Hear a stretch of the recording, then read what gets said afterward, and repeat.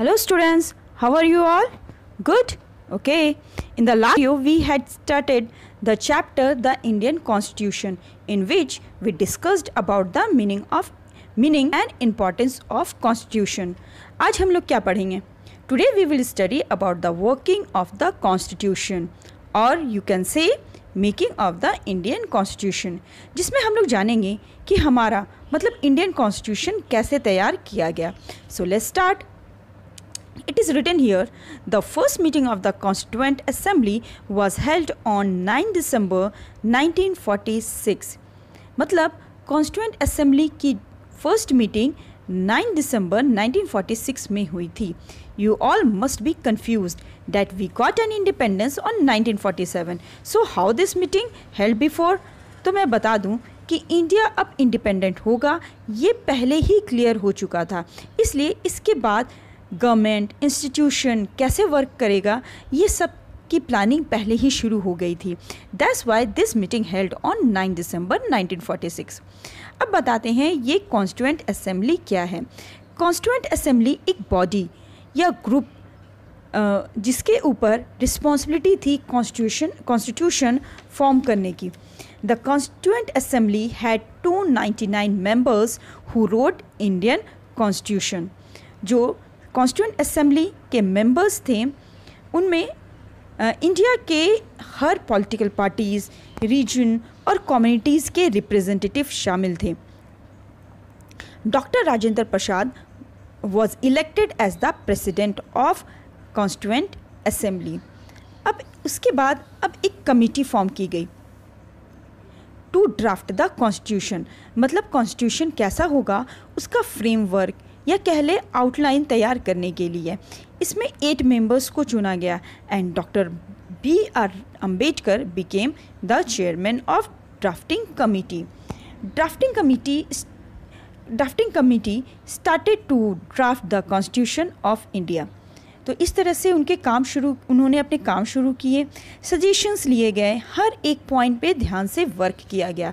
और इस तरह 4 नवंबर 1948 को ड्राफ्टिंग फिनिश करके कॉन्स्टिट्यूंट असेंबली को प्रेजेंट किया गया। अब कॉन्स्टिट्यूंट असेंबली ने इस पर वर्क करना शुरू किया।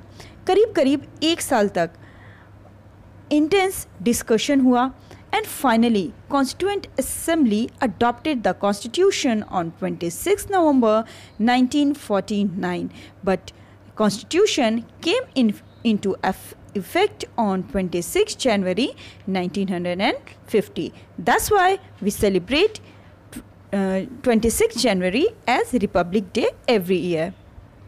After the establishment of constituent uh, constitution, first time elections held because अब constitution ready हो चुका था उसमें सारी चीज़ें एक्सप्लेन वे में दी हुई थी तो now that's why elections held in which Pandit Jawaharlal Nehru became the Prime Minister and Dr. Rajendra Prasad became the first President of India. बहुत सारे इंपॉर्टेंट मैटर्स आइटम्स कॉन्स्टिट्यूशन में इंक्लूड किए गए that's how that how shall we govern मतलब India कैसे govern होगा government कैसे काम करेगी and all that and all these are included in a form of articles that means कि कॉन्स्टिट्यूशन में ये सारी बातें जो है आर्टिकल के फॉर्म में दी गई है।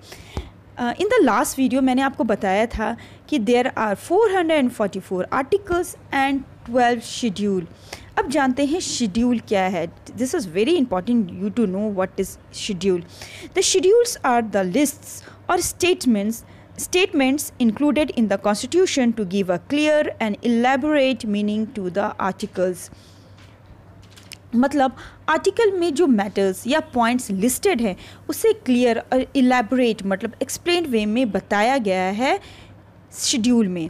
इसे ही शेड्यूल कहते हैं, जिसमें अमेंडमेंट भी किया जा सकता है। If we if we want to know what is our constitution that means uh, what is given in our constitution we can easily get a glimpse by reading the preamble attached an introduction to constitution of India मतलब अगर किसी को जानना है कि constitution में आखिर है क्या तो प्रियम्बल पढ़ने से एटलीस्ट एक आइडिया ज़रूर मिल जाएगा that what is actually in our constitution और ये प्रियम्बल इंडियन कॉन्स्टिट्यूशन के इंट्रोडक्शन पार्ट में अटैच्ड किया हुआ है। I hope you all understand it everything. So that's all for today. Next video may we will discuss about our preamble. So take care. Goodbye.